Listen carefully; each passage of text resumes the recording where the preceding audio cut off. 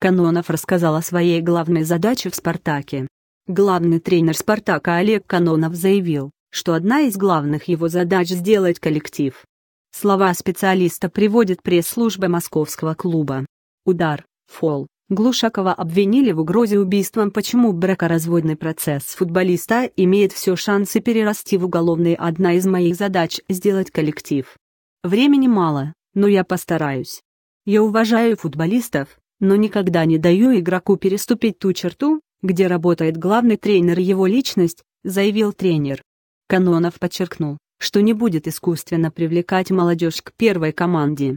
По его словам, молодые футболисты должны понимать, что выступают за самый титулованный клуб страны, поэтому должны прогрессировать.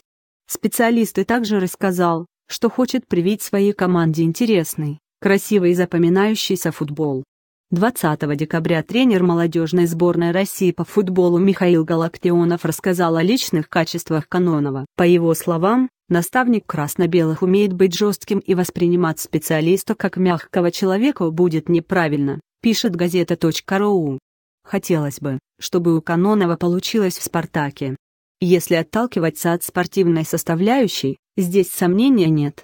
Игру он выстроит, исполнители под нее есть. Организация тренировочного процесса будет на самом высоком уровне, цитирует его «Спортэкспресс».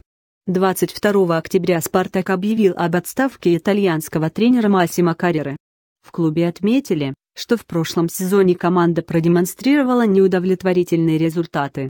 Исполняющим обязанности главного тренера был назначен Рауль Рианчо, однако вскоре он был уволен. 17 ноября «Спартак» подписал соглашение с Олегом Каноновым, Контракт со специалистом рассчитан до конца следующего сезона.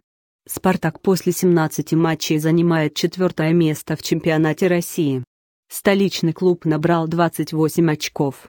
На первом месте располагается «Зенит» – 34 очка, второе «Краснодар» – 33 очка, третий «ЦСКА» – 30 очков.